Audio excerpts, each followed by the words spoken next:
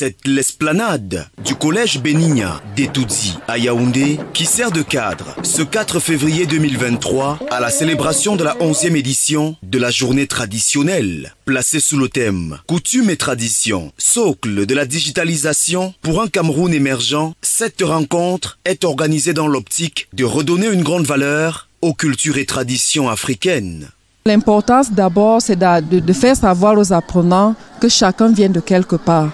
Et venant de quelque part, il a quelque chose qui l'identifie en parlant de la culture. Donc il y a beaucoup de nos apprenants qui ne savent même pas dire bonjour en leur langue vernaculaire. Donc cet espace est un moment d'apprentissage en même temps, un espace de jeu, un espace de loisir. Et nous sommes sûrs qu'à la fin de cette journée, chaque enfant serait reparti avec quelque chose, aussi petite soit-elle, qu'il aura, qu'il aura appris dans la culture de l'autre, qu'il aura découvert dans sa propre culture.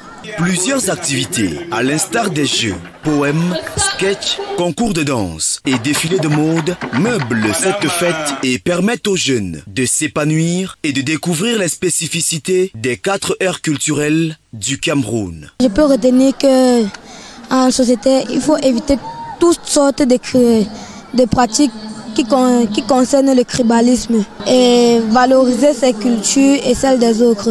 Ponctué par une belle ambiance, cet événement connaît une forte mobilisation de la communauté éducative et se déroule en présence des invités de marque, au rang desquels Armand Claude Abanda, représentant résident de l'IAI Cameroun. Ce que j'ai vu ici m'a impressionné. La sœur même, la sœur principale même, était au devant de la scène. C'est elle qui a ouvert les, manifestations culturelles et ça a été très beau. Il y a des manifestations de toutes les aires culturelles du pays, ce qui est une bonne chose du nord au sud, de l'est à l'ouest. Vraiment, je suis pas d'ici satisfait et très admiratif de cet immense travail que la sœur principale du collège Béigne abat pour la jeunesse camerounaise. Il est important de noter que la célébration de cette 11e édition de la journée traditionnelle se tient en prélude à la 57e édition de la fête de la jeunesse.